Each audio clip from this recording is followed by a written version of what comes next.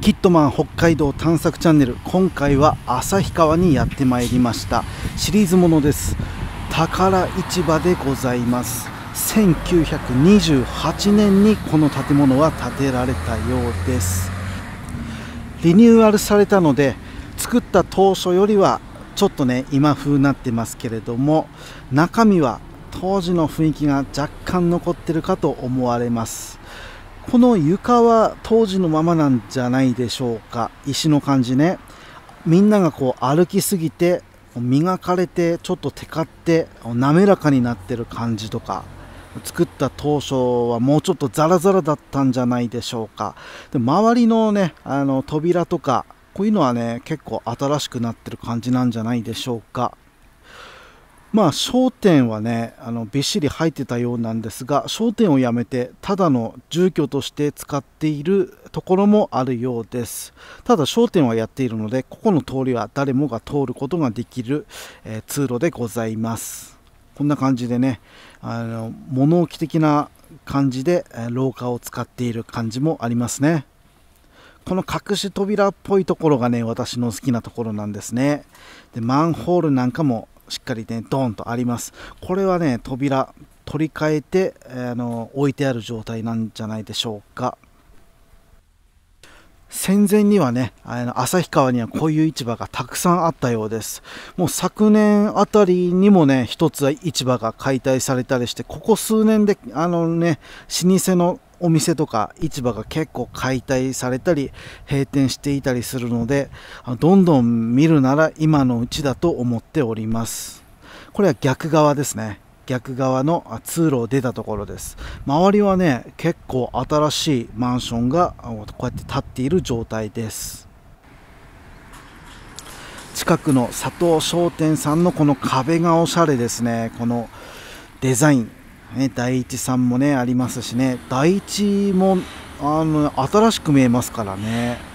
旭川余剰駅前のこの商店ですね。ここの商店を何と呼ぶのかは分からないんですが1号館から8号館か9号館ぐらいまでずらーっとありました。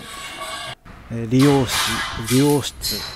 そして、えー、生態関係もありますね。整骨院かな。手術院ですね。そして居酒屋っぽい居酒屋ですね。居酒屋もありますしこうやってあの看板がねオリジナルなんでしょうね。原型なのでこうやって色が薄れたんだと思います。ただね旭川四条駅の高架下がかなり工事している状態でもう再開発するんでしょうか。なんかね新しくしていきそうな雰囲気があります。やっぱね順番に新しくなっていくんですね。喫茶ピットです。これ見た時ね現役の時来たかったですね。これはもう明らかにやってない感じですね。もう内装とかも多分ね私の喜びそうなお店だったんじゃないでしょうか。行ってみたかったお店がね結構たくさんあって、まあ、半分残念ではあります。裏側もねこうやってリニューアルされている感じです。2階のねこうやって窓とかもない感じなのでこうやって足場を作って補修をしたり直している状況なんだと思います。こうやってねリサイクルショップにあの昔懐かしい看板とか売ってますが旭川にはまだ現役のねこういう看板とか結構あるので見応えがある街なんですね。ピノキオさん、ね、ここも来てみたかったですね。まあ多分やってるんでしょうけれども私が来るのがちょっと時間帯がね早すぎたんでしょうね。うどん屋さんなんかもあってね新しい街と昔昔ながらの街が合わさっているんですね。鉄道の雑貨雑貨屋さんがあるんですね。この日はどうなんでしょう？愛したのかどうかわかんないんですがかなりマニアックなね稚内行きの天北線のねこの看板とかもあってちょっとそそりましたね。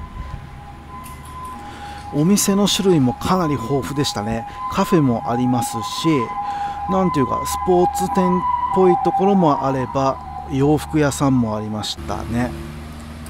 ここを歩いた瞬間ね東京の上野っぽい雰囲気がありましたね。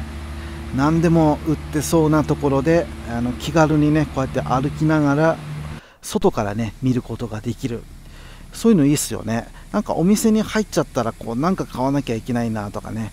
お店出づらいなとかありませんか？ただねこうやって外から見れる感じだったらあの必ず買わなきゃいけないような雰囲気とかもないですからね。あのゆっくり見て歩くことができます。そういう点ではねこういう感じの商店はメリットなんですよね。この日は札幌から原付 50cc のカブで来たんですけれども夜中は寒かったんですが昼間は暑かったです。でこれセイコーマートなんですけれどもここも戦前からあったと思われる市場があったんですが昨年か2年ぐらい前に解体されてセイコーマートになっています。どんどんね古い建物が解体されていってるので見るなら今のうちです。ありがとうございました。